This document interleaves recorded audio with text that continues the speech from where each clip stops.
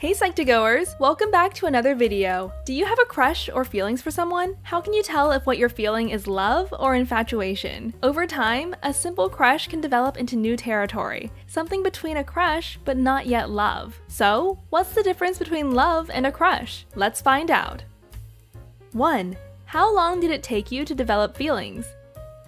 Typically, crushes start and end quickly. In the initial stage, you go through a period of idealization where your crush seems perfect. When you develop a crush on someone, your brain releases dopamine and norepinephrine, two neurochemicals designed to create bonds. These two chemicals are responsible for the sweaty palms, fast heart rate, and giddy feeling you experience whenever your crush texts you back. However, this period does not last very long, so if those feelings mature after some time, then there's a chance that it could develop into love.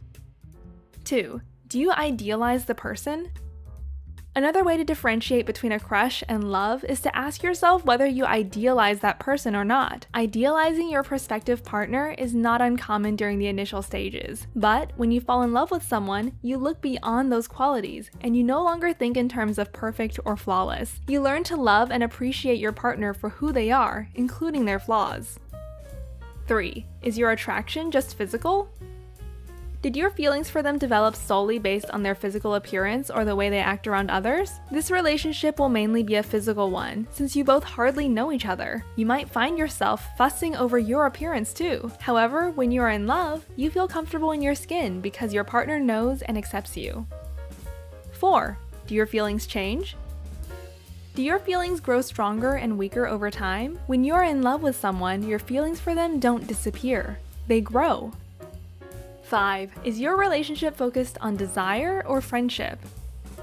Because crushes are rooted in physical appearance, the relationship might only focus on attraction or desire. You may have completely different personalities, values, or tastes, but you are attracted to each other. While attraction is necessary to fall in love, it's not the foundation that builds lasting relationships. What creates a lasting relationship are common values, goals, and interests. It takes time to be in love with someone.